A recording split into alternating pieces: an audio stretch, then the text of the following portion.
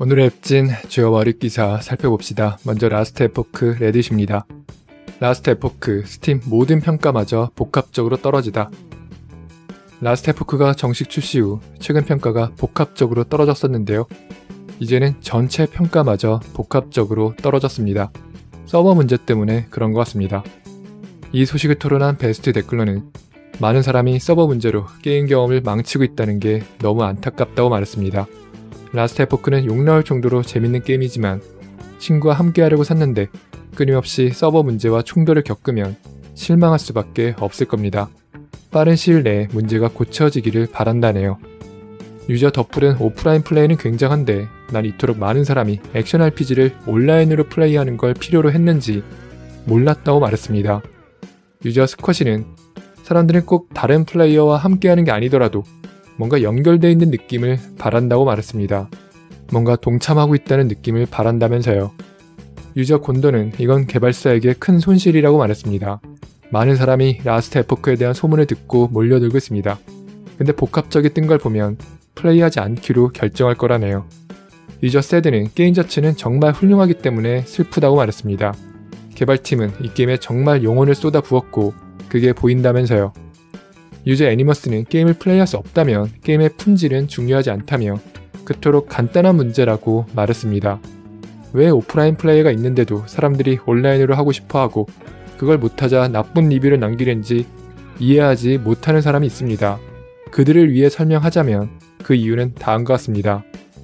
1. 어떤 사람들은 친구라 불리는 걸 가지고 있고 그들과 함께 플레이하기를 원합니다. 친구들은 게임 경험을 기하급수적으로 늘려주죠. 이 사람들은 자신이 돈을 지불한 모든 컨텐츠에 액세스하기를 원합니다. 오프라인 모드에서는 상인 길드에 액세스할 수가 없습니다. 근데 그건 1.0 버전에 광고된 핵심 기능 중 하나죠. 3. 온라인 플레이와 오프라인 플레이 사이를 전환할 수 없기 때문에 오프라인 캐릭터 육성이 낭비라는 생각이 들게 됩니다. 나중에 결국 서버가 안정됐을 때 처음부터 온라인 캐릭터를 새로 키워야 하기 때문이죠. 유저 미들은 그 말은 사실이지만 난 여전히 개발진이 안 됐다 생각한다고 말했습니다.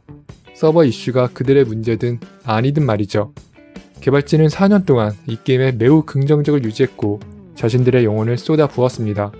1.0 정식 출시는 뜻깊은 순간이어야 했지만 그간 열심히 해온 모든 게 녹다운되고 있습니다. 이게 일시적인 덜컥거림이기를 바라고 라스트 에포크의 밝은 미래가 있기를 바라나 이번 출시는 생생한 악몽이라네요. 유저 빌리는 오히려 라스트 에포크는 복합적을 당해도 싸다며 이번 출시는 재난이라고 말했습니다. 다시 라스트 에포크 레딧입니다. 라스트 에포크 26만 동접 돌파. 이게 다 디아블로 4 탓이다?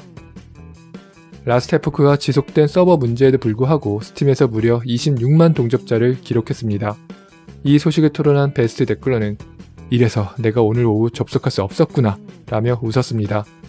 유저 숏은 이게 다 디아블로4가 너무 개똥 같아서 모두가 디아4 대신 라스트 에포크를 플레이하려 몰려든 탓이라고 말했습니다. 유저 노스는 디아4 endgame이 얼마나 정신나간 욕나오는 개똥인지 정말 미쳤다고 말했습니다. 라스트 에포크의 endgame도 완벽하진 않지만 이걸 해보고 나서야 디아4 endgame이 얼마나 똥인지 제대로 이해하게 됐습니다. 디아블로4에는 진심 아무것도 할 게 없습니다. 필요하지도 않은 아이템 하나 먹을 3% 확률을 위해 듀리엘을 300번 슬램덩크하는 일은 도저히 활동이라 부를 수 없다네요. 유저 5는 솔직히 디아4의 상태가 그런 건 build 다양성이 없기 때문이라고 말했습니다. 라스트 에포크의 endgame이 더 흥미로운 건 맞지만 동시에 라스트 에포크는 그 모든 build 다양성에 의해 뒷받침되고 있습니다. 수많은 unique가 있고 높은 속성이 붙을 기회가 있기 때문에 전리품을 쫓고 새 캐릭터를 키우는 게 재밌는 거라네요. 유저 보헤디는 디아4의 가장 범죄적인 파트는 그들에겐 endgame이 어떤 모습이어야 할지 참고할 수 있는 패스 오브 엑자일과 심지어 디아블로3가 있었다는 점이라고 말했습니다. 그러나 그 두 게임으로부터 조금의 영감도 가져오지 않았고 자신의 전작보다도 단연 열등한 작품을 내놓았다네요.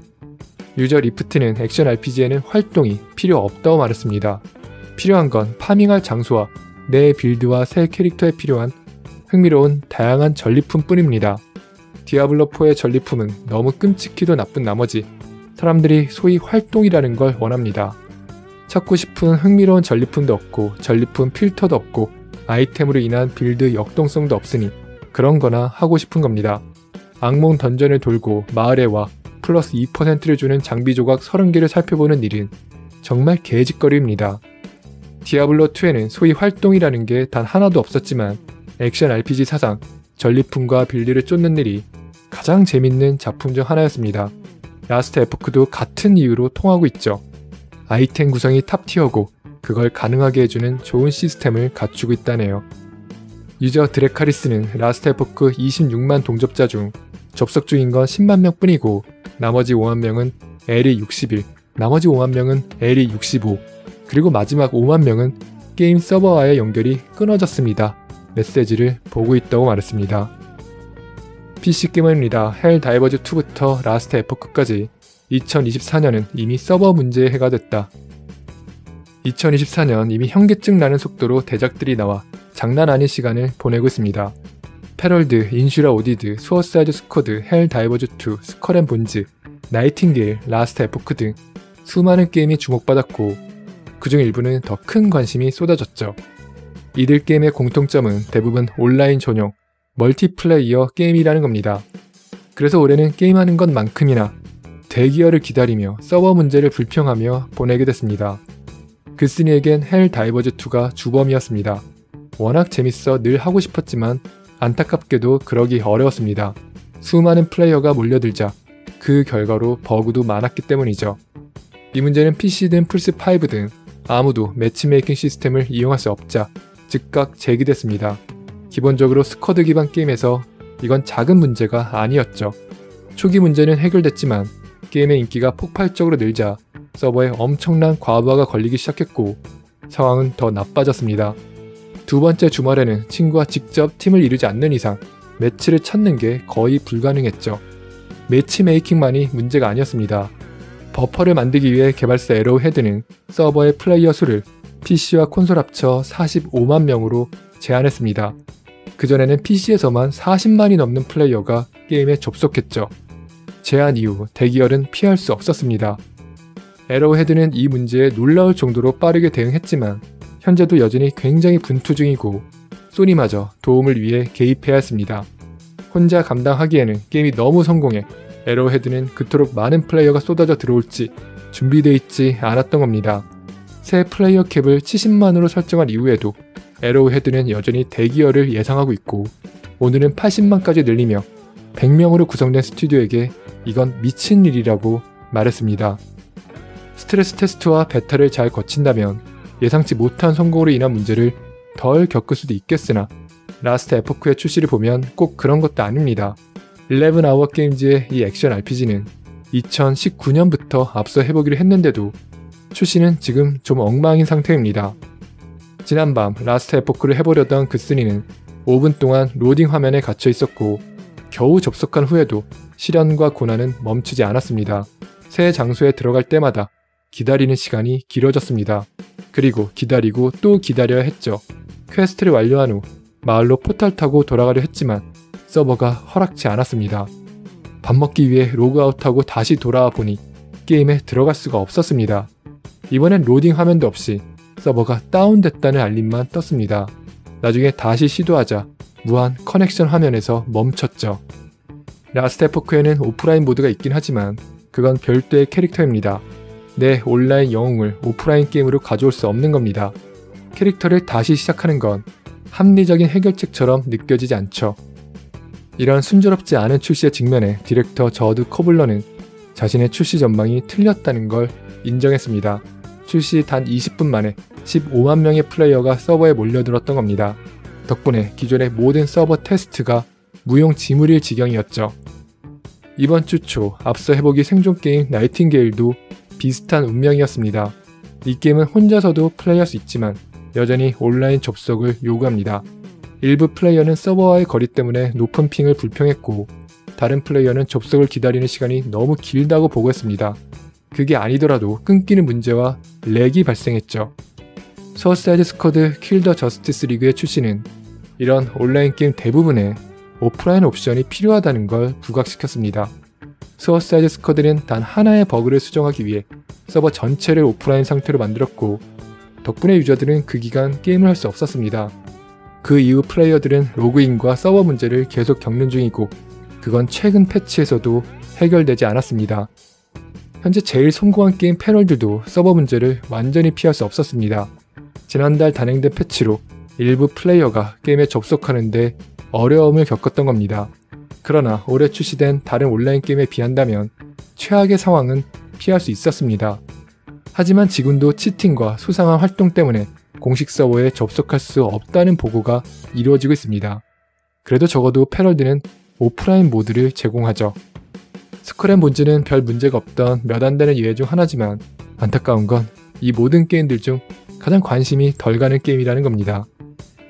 Enshrouded는 동료 게임들이 겪은 큰 재난을 피할 수 있었을 뿐 아니라 출시 때부터 들어있던 오프라인 모드의 덕을 받습니다. 게다가 플레이어가 local로 자신의 게임을 호스트하거나 전용 서버를 대여할 수 있게도 해줬죠. 이 게임에도 몇몇 유저가 전용 서버에 접속할 수 없는 등 약간의 문제가 있긴 하지만 아직 게임을 할 수 없을 정도의 문제는 발생하지 않았습니다. 이토록 수많은 게임에 비슷한 문제가 발생하자 이에 관한 담론도 형성되고 있습니다. 대부분의 경우 서버가 덜컥거리면 부정적인 리뷰가 크게 증가합니다. Helldivers 2도 플레이어들이 게임을 좋아하고 있는데도 Steam에서 복합적을 기록 중이죠. 심지어 부정적인 리뷰들조차 게임이 재밌다고 말하고 있습니다. 다만 플레이할 수 없을 뿐이라면서요. 이 게임들에 대한 부정적인 리뷰는 비추폭탄 캠페인으로 치부되지만 사실 엄밀히 말하면 비추폭탄이 아닙니다. 내가 산 게임을 할 수 없는 것에 부정적인 리뷰를 남기는 건 완전 정당하기 때문입니다. 스팀 리뷰는 아직 게임을 사지 않은 플레이어에게 게임의 상태를 알려주는 기능을 합니다. 그러니 서버 문제 같은 건 특히 강조될 가치가 있습니다. 부정적인 리뷰는 궁극의 피드백이고 피드백은 게임의 지속적인 개발에 매우 중요합니다. 확실히 지금까지는 multiplayer와 라이브 서비스 게임 플레이어에게 실망스러운 시간이었고 결국 그스니는 자신의 싱글 플레이어 라이브러리를 돌아보게 됐습니다. 그래도 니들은 날 이렇게 취급하지 않았지. 이제 니들에게 모든 관심을 줘야 하는 게 아닐까? 라고 말이죠. 하지만 Helldivers에서 메달도 따고 싶고 Last Epoch에서 재밌는 build도 시험해보고 싶고 Nightingale에서 흉악한 타워도 지어보고 싶기 때문에 자긴 글렀다네요.